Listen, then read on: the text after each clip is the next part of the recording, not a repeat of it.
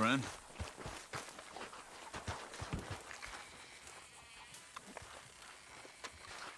Rufus, boy.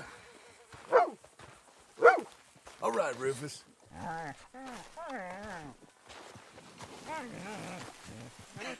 Look at me. Working the white man's land for no pay. How will I let this happen? Look, if if you need money, I'll get you money. I'm just joking with you. Right now, this is good for me.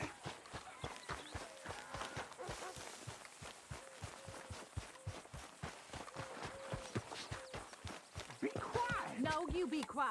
I'm having a moment of repose. Well, you should be working. Oh, I, I've done my work. Not how I heard it. Oh, you should be grateful. I'll be grateful when you get off your behind.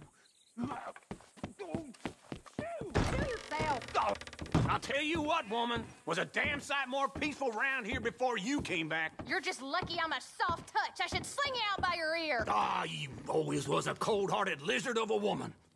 And you always was someone willing to live off the efforts of others. It's walk or work, old man. I got lumbago. You'll have more than that in a minute. Oh, John, tell her about my health. Do what the lady says. I worked my fingers to the bone building this place, Abigail Roberts. Marston! Abigail Marston. Miss Marston to you.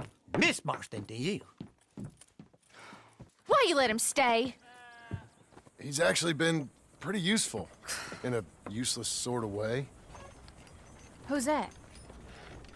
No idea. Friend or foe? We'll soon find out. It's the Geddes boys. From Pronghorn Ranch? Yeah.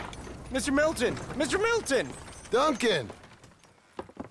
Sir, Ma found some old furniture in the attic. Pa thought maybe you folks wanted as a housewarming present, you know? Uh, they send their regards.